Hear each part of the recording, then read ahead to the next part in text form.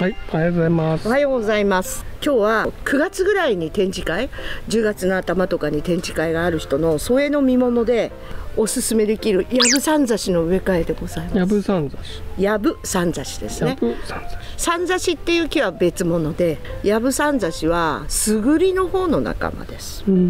だから半日陰で。で今青い実がついてますよね。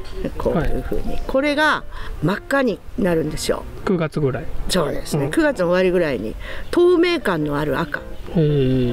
でスグリの葉っぱによく似てると思うんですよ葉っぱは、うんうん。うん、ちょっとあんま売ってないかもしれないけど、まあ、グリーンクラブ行けば結構ありますけどね。ありますでこの木はオスメスあります。はい。だからメスだけだとジベレリンかなんか吹きかけてなるかどうか、まあ、実験できますけれども、まあ、できればオスギがあった方が一緒に置いとけば勝手になりますので、はい。こ、れはだから実がみんななってるからメス。そうです。これはメスですこの実をまくと結構発芽率いいんですけどね、はいはい。中にちっちゃい種いっぱい入ってて、うん、オスギはまあ3年待てばだいたいオスは咲きますので、えどうしても手に入らない人は巻いてください、えはい。じゃあ、はい。こちらを植え替えてはい。豆盆栽にすると。そうですね。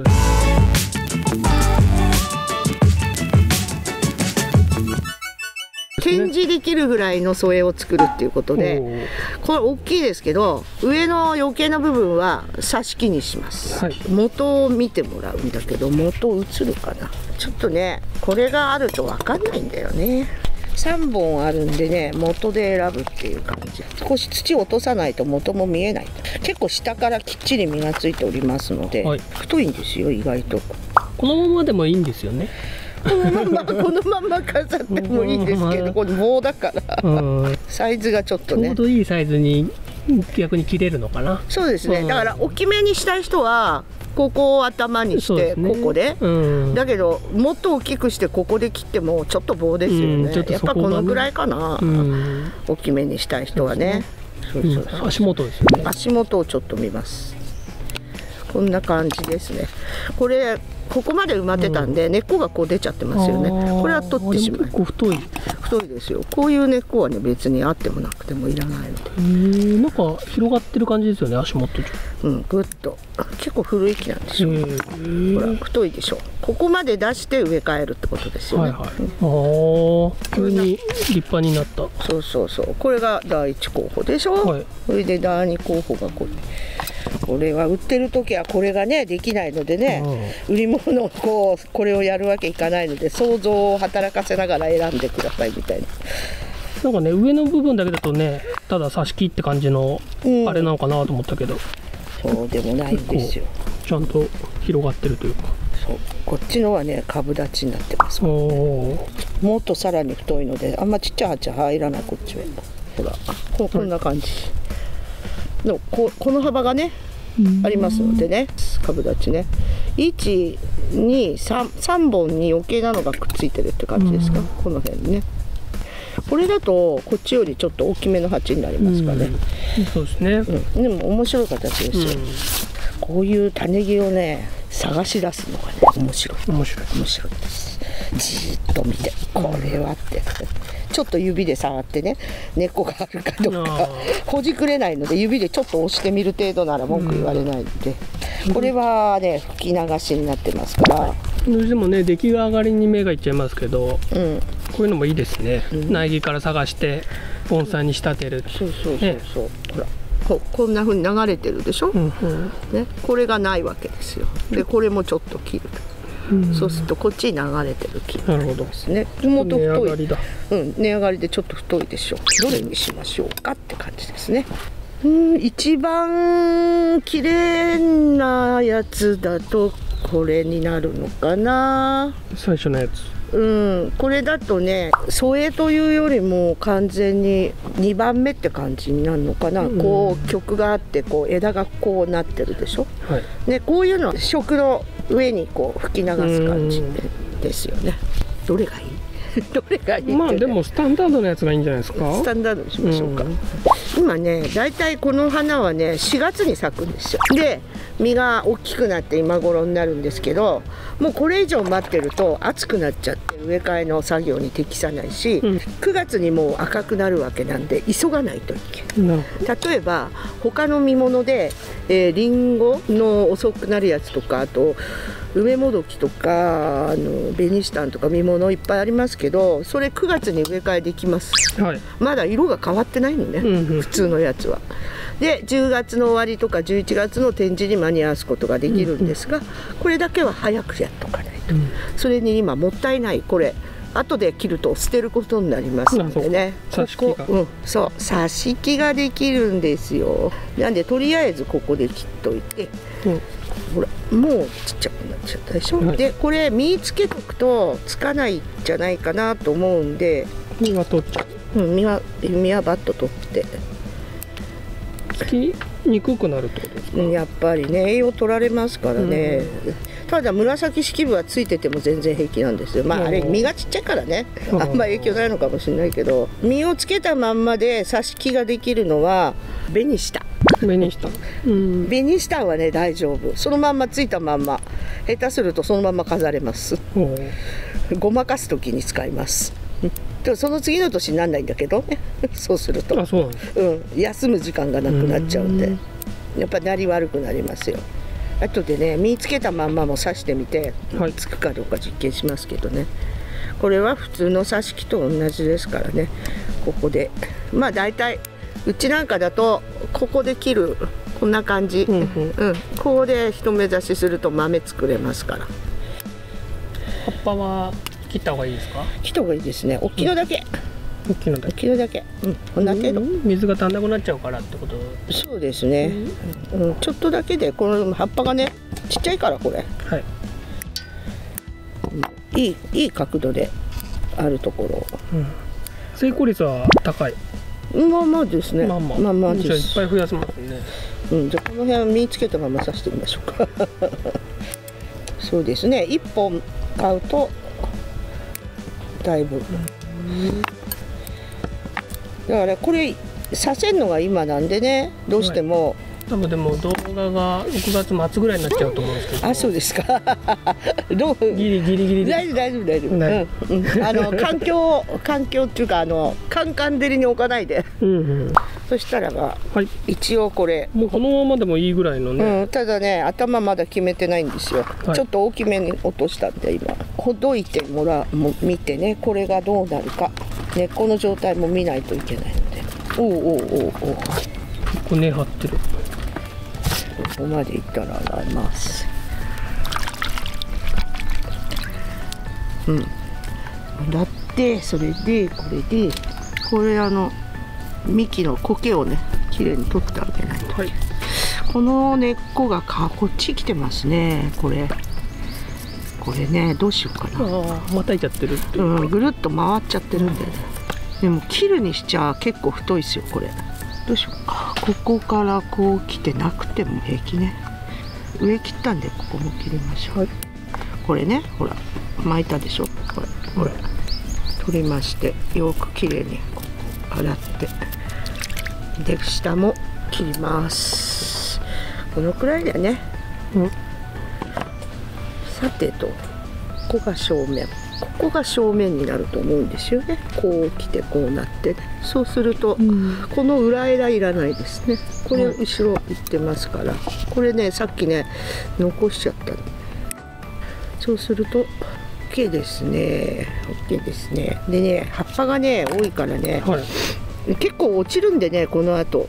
あれなんですけど見えないじゃん木がうん、落ちるって葉が落ちる。葉落ちるんです。あの真夏ぐらいにね少し落ちて減りますけど今ちょっと見た目の感じで少し取ります。実が見えないから。うんうん。はいえっと9月だとまだ葉っぱありますよね。ありますけどね。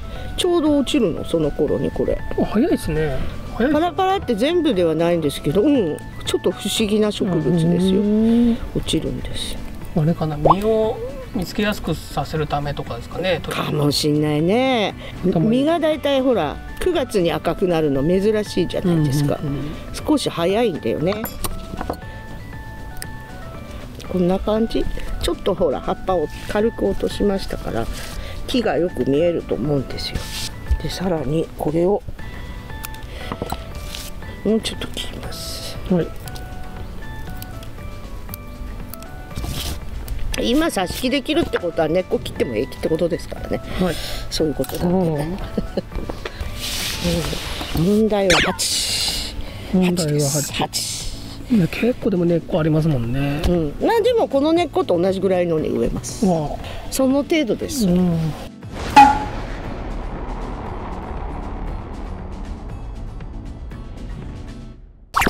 全部止水鉢あ今ねとりあえずねとりあえずあった。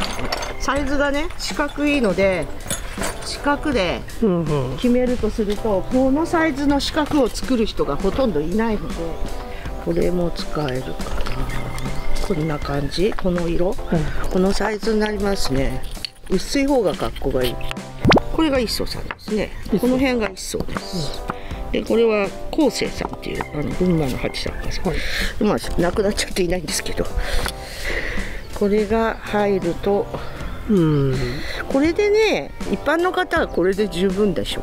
そうですね。う、うん、これ以上ちっちゃくすると多分枯らすかもしれない、でも大きいんです。水怖いですけどね。大きいんです、ただこれ深いのよね。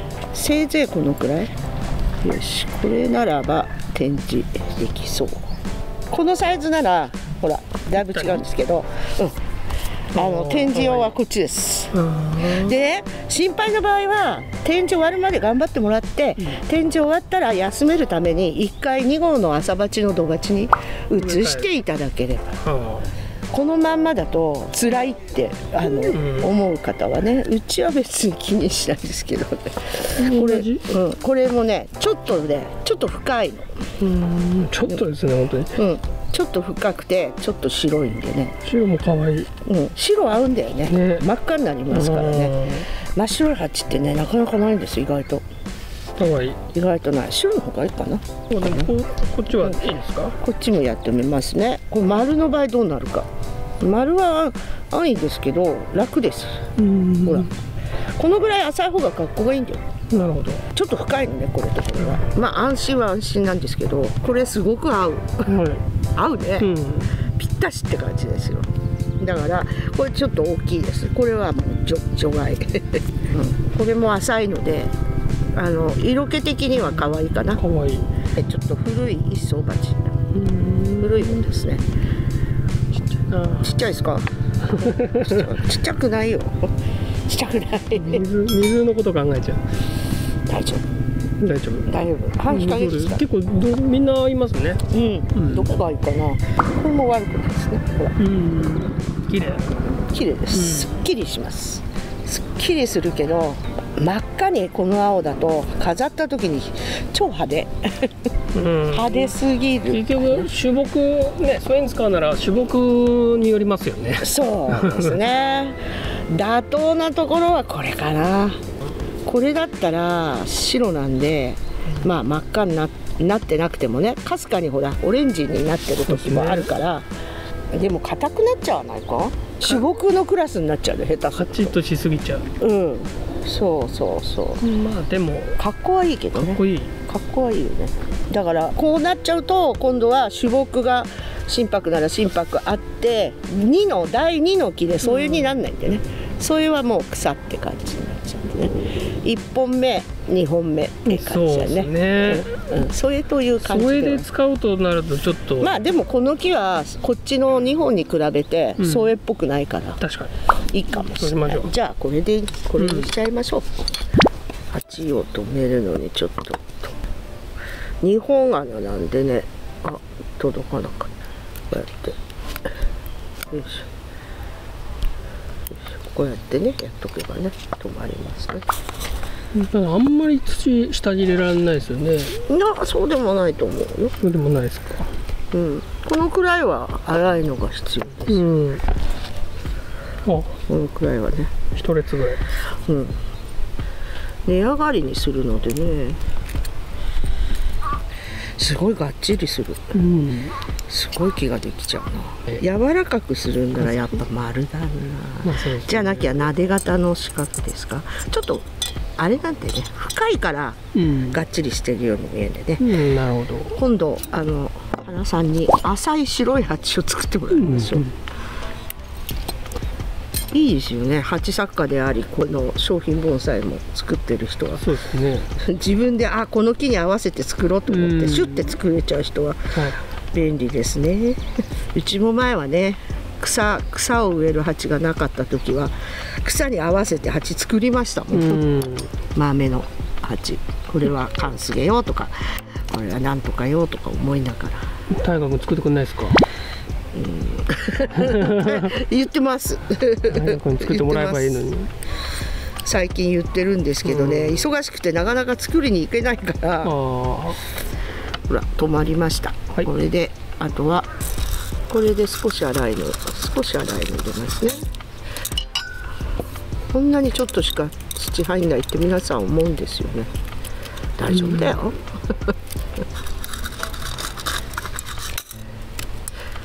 でもこの姿からこれができるとは思いつかないと。そうですよね。もう。だからねやっぱりね苗木選びは大事なの、うんで同じ値段でねいろんなの売ってるからね。全部均一で売ってましたからね。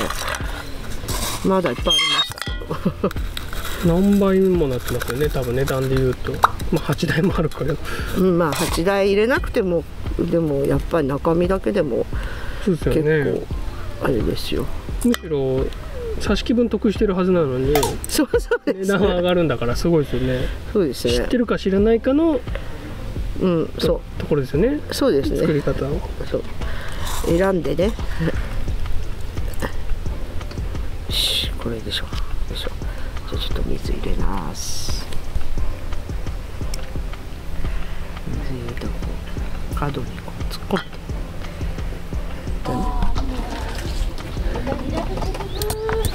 うん今苔入ったね飾る頃にね苔伸びすぎちゃって。んの9月に。うんだから貼り直しするようになるかもしれないけど貼っとかないとあの土が出ちゃうのね。うんうん。大雨降った時とか裸になっちゃうんですよ気をつけないと。だから軽くは貼っといた方がいい。うんあんまり間延びしないいい苔があったらそれをきれいに貼っといてもらえば声あれだったら言っときなさいいいですか？大丈夫ですか、まあ今微笑ましい。んじゃないですかいいですかラスト。はい。はい。はい完成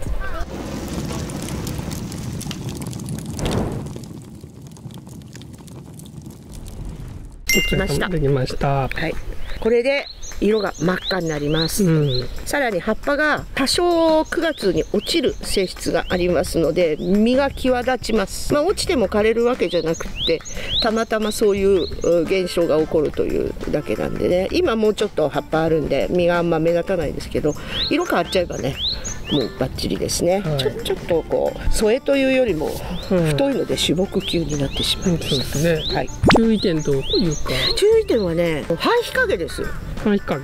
これは。だからあんまり真夏はカンカン照りに置かない、うん。これからあの展示が9月なんで干からびちゃいますからここから先は半日陰。春から花が咲いて実が確定するまではまあまあ日向でいいの、なるほど。うん、真夏だけは半日陰。うん。あとは特にないんですよね。うん。ひたすらお杉を探してください。お杉を。うちには何本かはあるんだけど種まかないと大きなお杉枯らしちゃったの？うん。挿し木で増えるからね。はいはい。あれなんですけどね。お酢刺したらお酢なんですか？おうんもちろんそうですよ。うんうん。そうまあ時間のある人は種まきでも楽しめますので、こんなちっちゃくてもなりますから、なるほど。うん。意外と面白いですね。はい。本日はやぶこうじうん。違う違うなんだっけ？なんだっけ？やぶさんざし。やぶさんだし。はい。やぶさんざしの見物ね。はい。見物ですね。はい。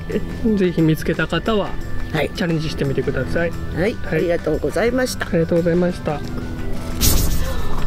なんで撮るの？かすごいね。ちょっとね、落ち着いたなと思った。ちっちゃく。これ使うのあおまけ？おまけ？だから、はってきた。ありがとうございますこうやってサムネは作ら撮れてってってねはい